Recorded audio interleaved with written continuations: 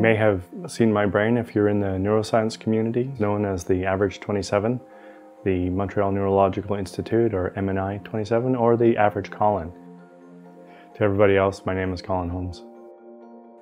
It's fascinating to me as I travel around the world to go into neuroscience labs and discover on the walls uh, pictures of my brain. I've seen it uh, all across the United States, I've seen it in Japan, Korea, all over Europe. I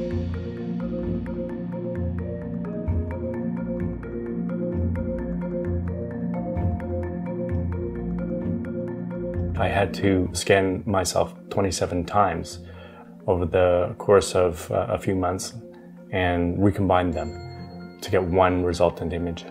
And we published a paper about the work in 1998. And since then, uh, I know more than a thousand labs are using my, my average brain data set, and more than 800 papers have referenced the, the original paper on that work. So this is uh, two methods, my brain and someone else's brain. Mine's the gray one that's still alive, and the colored one is a slice through a postmortem brain. As a, someone working with magnetic resonance, you get to see inside yourself. You see your own brain. And the first time, it's always uh, very scary because you don't know what you're going to see in there. Uh, you feel normal, but is there anything wrong? You know, what am I going to see when I look at these images? And so there's always a, a relief. I don't see a huge tumor. I don't see anything obviously wrong. Um, and that's, that's great. Oh, and yeah, that's really cool. That's my brain.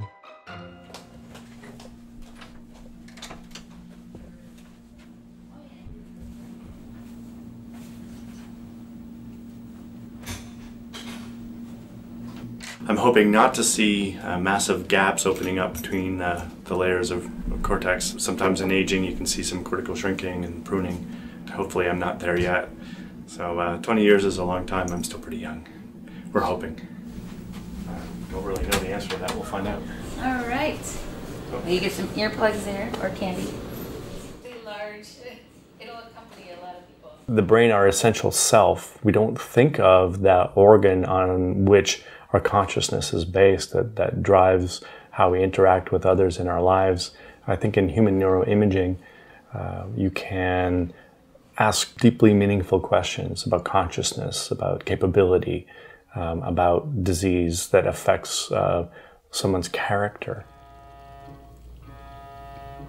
It's great to be able to meet people and uh, discover that they've been using you know images of my brain for for years and years. Didn't know, didn't care. It's fine. Um, I I don't personally benefit other than from the the knowledge that I, I did something useful. Welcome back. I bet, I bet, just like old times. It's like an old exactly. friend, right? exactly. Well, we, we tried. Hopefully the table is a little bit more comfortable. Yeah. The brain is such a, a flexible and plastic organ that things can go on for a long time before you actually see a symptom. So it's always good to have a, a baseline. Okay, so here's a baseline at uh, Colin at 28, Colin at 52. So.